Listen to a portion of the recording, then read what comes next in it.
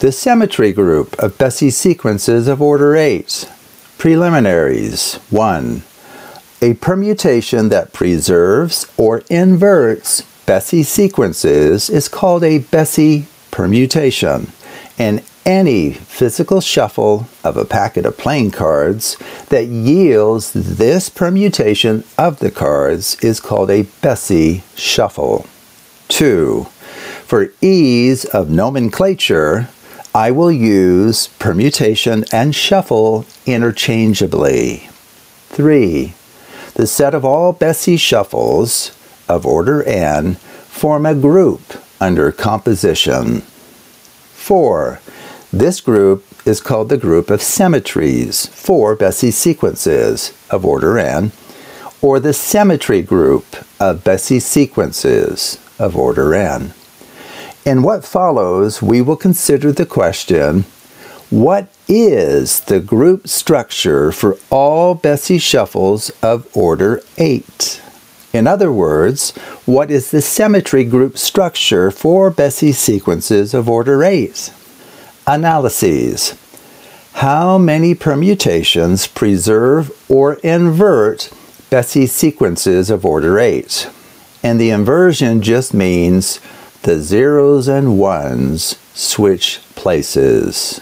Viewing the four ones as equivalent but distinguishable, and the four zeros as equivalent but distinguishable, we obtain the following total number of distinct permutations that preserve or invert the above sequence structure.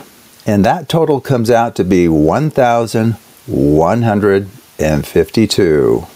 Number two, because of the above, the cardinality of the group of symmetries that either preserve or invert Bessey sequences of order 8 is 1,152. Number three, fortuitously, among the shuffles already presented on the hidden structures channel that either preserve or invert Bessey sequences of order 8, we find several minimal generating sets for all 1,152 elements in the symmetry group of Bessey sequences of order 8. As an important aside, Please recall that since many of the systematic shuffles utilized today in card games and or card magic are Bessey shuffles, they cannot be combined in any quantity or any order that will truly randomize a packet of n playing cards. If indeed Bessey sequences of order n exist. Furthermore, my standing conjecture is that Bessey's shuffling of such sequences can pass most, if not all, modern tests of randomization, even though we can clearly prove that true randomization is impossible. Number four, rather surprisingly, there is one shuffle among those presented on the Hidden Structures channel that is a required member of any generating set for the symmetry group of Bessey sequences of order 8. This special shuffle is the Australian Down Under Shuffle. Number 5. Here I provide a partial list of minimal sets of shuffles that generate all 1,152 symmetries of Bessey's sequences of order 8. The first one is a 50% cutting of the cards together with the Australian Down Under. The second one is a 50% coating of the cards together with the Australian Down Under. The third one is a packet reversal together with the Australian Down Under. The fourth one is an even up jog, in which the even position cards are stacked on top of the odd position cards, together with the Australian Down Under shuffle. And finally, five, the Faro in shuffle, together with the Australian Down Under Shuffle. Another generating set that includes our familiar LR shuffles is the following. So it consists of the LR shuffle, in which we stack the left pile on top of the right, together with the LR shuffle, in which we stack the right pile on top of the left, along with the Australian down under shuffle. Although this generating set is not minimal, it does consist of independent generators, since none of them can be removed and still generate the symmetry group of Bessey sequences of order 8. Because of the ubiquity of LR shuffles, I think it is wonderful that they, along with the Australian Down Under Shuffle, generate the entire group of symmetries for Bessey sequences of order 8. Number 6. According to GAP, a computational discrete algebra system the group of symmetries that preserve or invert Bessey sequences of order 8 is isomorphic to the following group structure, where the colon denotes a semi-direct product. And A sub 4 is the alternating group on four letters, and Z4 and Z2 are cyclic groups of order 4 and 2, respectively. Number seven, perhaps of interest, the many shuffles that preserve or invert Bessey sequences of order 8 are not only members of this symmetry group, but each of them individually can be written as a product of the composition of the shuffles within each of the six generating sets above. Number eight, a case in point is the factorization of the Klondike Shuffle in terms of the members of these generating sets. The Klondike Shuffle K can be written as the following composition of a 50% cutting of the cards and an Australian down under. And here is the factorization of the Klondike Shuffle in terms of the members of this minimal generating set, where the product is read from left to right, and the shuffles are performed from left to right.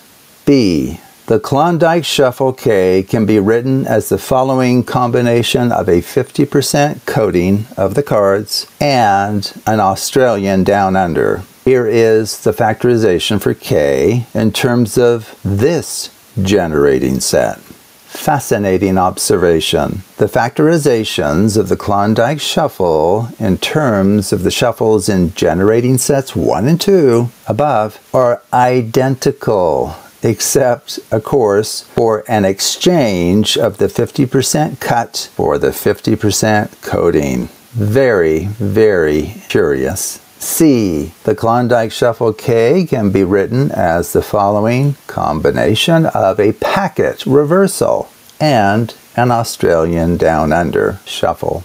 D.